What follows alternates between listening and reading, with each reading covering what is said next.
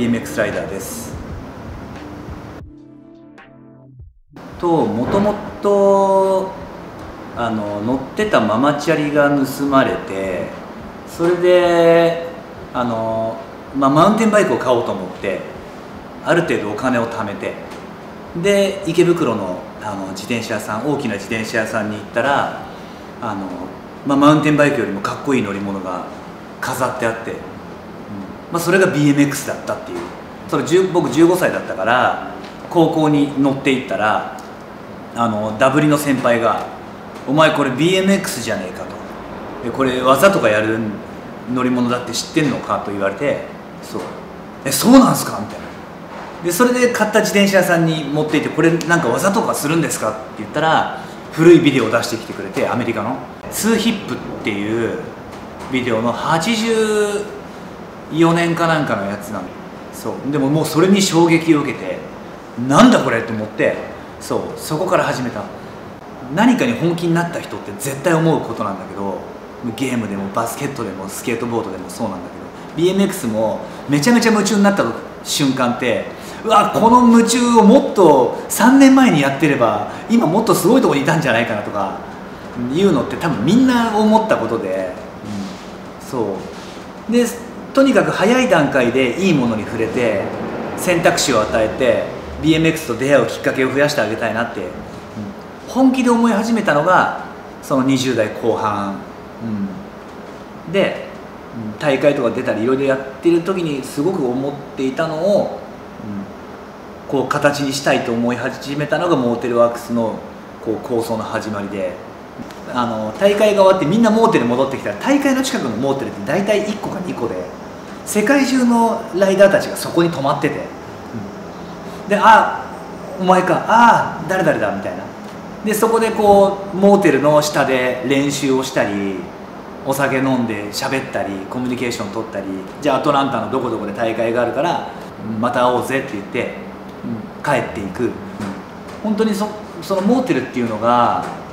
僕の中では友達を作るきっかけにもなったし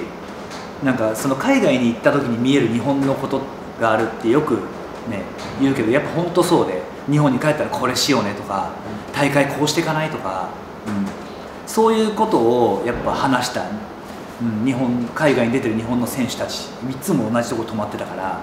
うん、そういう話をしたりこうなんか泣いたり笑ったりしたのがやっぱモーテルっていうのがあって。うん、だからモーテルっていうのはやっぱ僕の中の結構鍵だったから、うん、そこで生まれたことっていうのが、うん、そのままブランドとしてモーテルワークスっていう、うん、名前にした。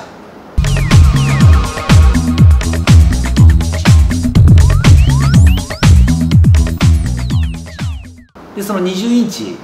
っていうのはモーテルワークスの AUX っていうモデルなんだけど AUX はそのステレオの裏のオークス AUX って外部入力端子っていう意味で BMX やってなかったらおそらく僕は、ね、板橋区の地元でうろうろしてただけだと思うし 永遠に、うん、そう BMX がこうね駒沢公園に連れてってくれたし BMX が全国大会連れてってくれたしでアメリカに連れてってくれたし BMX が僕のこう外部入力端子としていろんな情報を持ってきてくれたから、うん、っ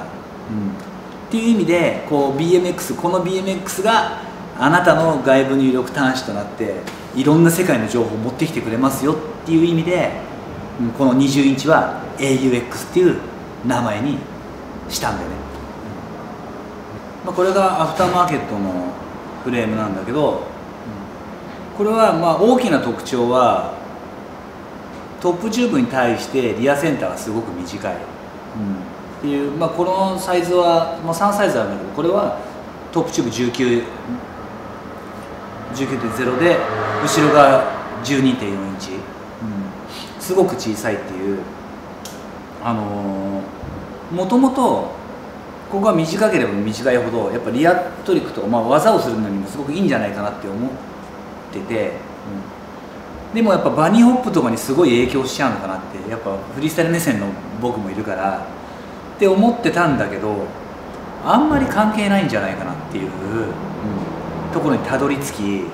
このリアセンターの長さがためなのかなっていうバニーホップって、うん、っていう結構意識があったんだけどそんなこともなくて短くしてみてもバニーホップバンバン飛べたし、うん。うん、だったらいいかもと思って、うん、そう。でまあフロントトリックをするにしてもサドルを持った後ろが短い方があの体幹の重力はねすごく軽くなるしリアトリックに関しても重たいものがこのトップが下にある方が、うん、例えばスピンとかの軸の取りやすさとかも全然違うのかなと思って、うん、それで一回テストであのサンプルを作って今のメンバーに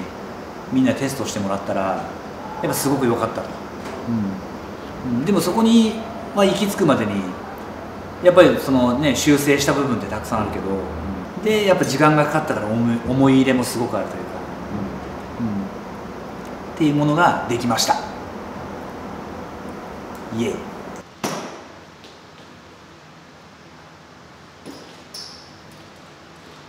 10代には10代の乗り方があって20代には20代の乗り方があって、うん、で僕はもう45歳だけど45歳には45歳の乗り方があって